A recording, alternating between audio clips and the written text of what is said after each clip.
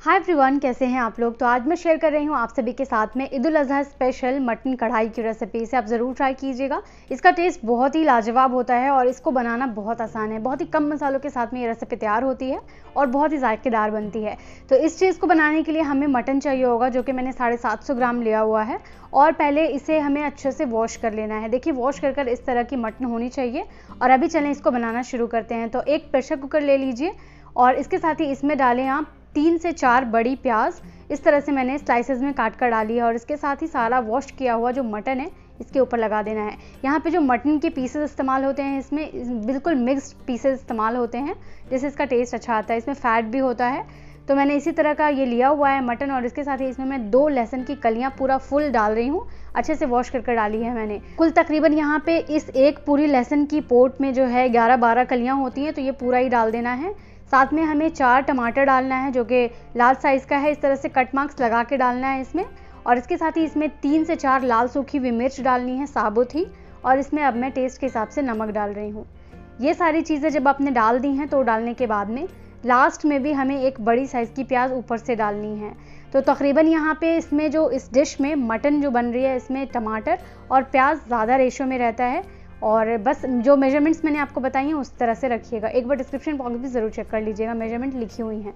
तो ये सारी चीज़ें डालने के बाद में इसमें अभी हमें एक कप पानी डालना होगा। ये चाय की कप से मैंने इसमें पानी डाली है। पानी इसमें बहुत कम ही ज़रूरत पड़ेगा क्योंकि प्याज का अपना मॉइस्चर होगा, मटन के अपने मॉइस्चर होंगे, टमाटर भी पानी छोड़ेगा। तो बस थोड़ा पानी डालना है और डालकर इसे प्रेशर कुकर लेना है, तीन चार विसल लगा लेना है। चार सीटी आ गई है और मैंने इसका प्रेशर खुद ब खुद रिलीज़ होने दिया है और अब देखें लिड हटाकर मैं चेक कर ले रही हूँ। यहाँ पे ये जो मटन है बहुत अच्छे से गल चुका है और साथ साथ में जो हमने टमाटर प्याज लहसन वगैरह डाली थी वो भी बस इसमें बहुत अच्छे से गल चुकी है। तो अभी क्या करना है हाथों से या फिर आप, आप किसी स्पून से इससे जो लहसन की कलियाँ हैं जो हमने डाली थी पूरा वो निकाल लीजिए। उसको ठंडा होने दीजिए और साथ साथ में जो टमाटर है उसकी स्किन भी इसमें अलग हो जाती है तो जो दिख रही है वो हटा दीजिए। अब यहाँ पे नेक्स्ट स्टेप में हमें एक स्पेशल कढ़ाई मसाला तैयार करना है, जिसके लिए एक बड़े चम्मच मैंने साबुत धनिया लिया हुआ है और एक बड़े चम्मच ही मैं इसमें साबुत ज़ीरा ले रही हूँ। ये दोनों चीज़ें हमें साबुत ही लेनी है, इससे खुशबू बहुत अच्छी आती है और कढ़ाई मटन का फ्लेवर बहुत अच्छा आता है। तो पीसे हुए ना लेकर आप इस तरह से खड़े लीजिए और इसको रोस्ट कर लीजिए। कुछ सेकंड रोस्ट करने के बाद में इसमें आधे चम्मच गोल मिर्च, यानी कि काली मिर्च का दाना डालिए और इसे भी अच्छे से डालकर भून लीजिए। यहाँ पे जो फ्रेश मसालों को कूट कर या ग्राइंड कर इसका जो पाउडर बनाकर हम इस्तेमाल करते हैं, उससे डिश में चार चाँद लग जाती है और बहुत ज़बरदस्त कढ़ाई मटन तैयार होती है। यहाँ पे जब ये मसाला जो है भुन सा गया है तो उसमें कुछ मैं सात आठ काजू डाल रही हूँ, साबुत काजू है, और डालकर मैं इसे भी भून ले रही हूँ। काजू से बहुत ही अच्छा फ्लेवर आएगा, क्रीमी टेक्स्चर देगा हमारे सालन को।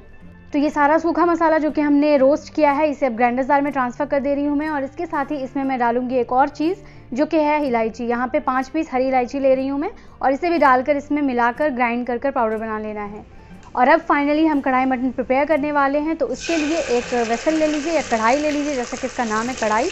और इसके साथ ही इसमें डालें आप दो से तीन बड़े चम्मच तेल जब तेल गर्म हो जाए। इसमें दो तेज़ पत्ता और अदरक का पेस्ट डालना है, दो बड़े चम्मच।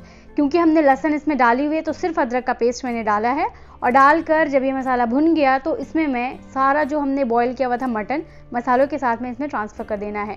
जैसा कि आप देख सकते होंगे, यहाँ पे मटन में बहुत ज़्यादा पानी है तो बस इसी तरह से हमें फ्लेम हाई कर कर इसे ड्राई कर लेना है, क्योंकि इससे ग्रेवी बनेगी और यहाँ पे जैसे जैसे ये पानी जो इसका सूखता जाएगा ना, वैसे वैसे ग्रेवी गाढ़ी होती जाएगी।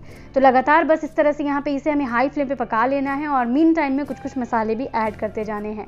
तो जैसे कि सबसे पहले मैं इसमें डाल रही हूँ लहसन तो जो दो लहसन मैंने ली थी उसको हमें इस तरह से इसमें स्क्वीज़ कर देना है। इसका पूरा पल्प जो है इसमें आ जाता है और इसकी स्किन जो है अलग हो जाती है। तो बहुत ही आसान तरीका है और इससे फ्लेवर भी काफ़ी अच्छा आता है। तो दोनों लहसन मैंने डाल दिया और डालकर अब फाइनली हमें इसे बहुत अच्छे से मिलाना है, जिससे टमाटर वगैरह घुल जाएगा इसमें। गला हुआ तो ऑलरेडी है। प्याज वगैरह मशी हो जाएगा और बिल्कुल अच्छी सी ग्रेवी बन जाएगी। तो सबसे पहले मैं इसमें डाल रही हूँ ये मसाला जो कि मैंने अभी अभी तैयार किया है। बिल्कुल फ्रेश पिसा हुआ मसाला जो है, इसे पूरा डाल दीजिए।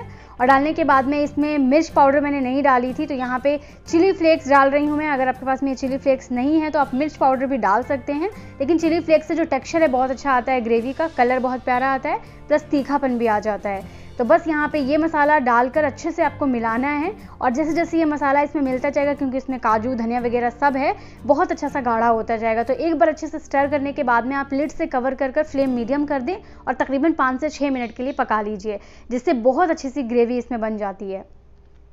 तो अब देखिए, पाँच से छः मिनट बाद में मैं आपको दिखा रही हूँ मसालों की वजह से इसका कलर देखिए कितना बेहतरीन आ चुका है और सारी चीज़ें इसमें बिल्कुल मिल सी गई हैं, घुल सी गई हैं और ग्रेवी सी तैयार होने लगी है। तो यहाँ पे बस लास्ट में हमें कुछ और चीज़ें ऐड करनी है जो इस डिश को और बहुत ज़्यादा इनहेंस करेगी इसके फ्लेवर को और जान ला देगी इस डिश में। तो यहाँ पे जब ये मसाला अच्छे से भुन गया है ग्रेवी से इसकी टेक्सचर हो गई है तो अब मैं इसमें डाल रही हूँ ये जो कि है कसूरी मेथी। इससे फ्लेवर बहुत अच्छा आता है। तो दो छोटे चम्मच मैंने ली है ये, और इसके साथ ही इसमें मैं कुछ पाँच छः हरी मिर्चें डाल रही हूँ। और हरी मिर्ची जो रेड हो जाती हैं, आप चाहे तो वो भी डाल सकते हैं। बस इससे फ्लेवर बहुत अच्छा आता है और कलर दिखने में खूबसूरत बहुत लगता है। तो लगातार बस इस तरह से हमें भून लेना है और तब तक भूनना है जब तक तेल सरफेस पे नज़र नहीं आने लगे। तो लिड से, ढककर ही मैंने भूना है इसे और ये देखें। बहुत ही ज़बरदस्त, शानदार हमारी ये लाजवाब मटन कढ़ाई रेडी हो गई है। कलर देखें, कितना खूबसूरत लग रहा है और बेहतरीन सा ये सालन तैयार हो चुका है। बस गर्मा गर्म इसे आप डिश आउट करें और जूलियंस अगर आपके पास में है अदरक के तो उससे और हरी मिर्चों से गार्निश करें और रेस्टोरेंट स्टाइल ये मटन कढ़ाई डिश का लुत्फ उठाएँ घर पे ही अपने। तो आप इसे पराठे या राइस के साथ में इंजॉय कर सकते हैं। बहुत अच्छी लगती है। एक बार ट्राई ज़रूर कीजिएगा। इस ईद पे इसे ज़रूर बनाइएगा।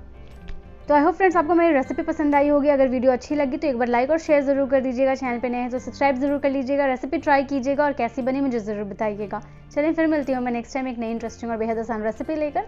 तब तक अपना ख्याल रखें, दुआओं में याद रखिएगा। Bye thanks for watching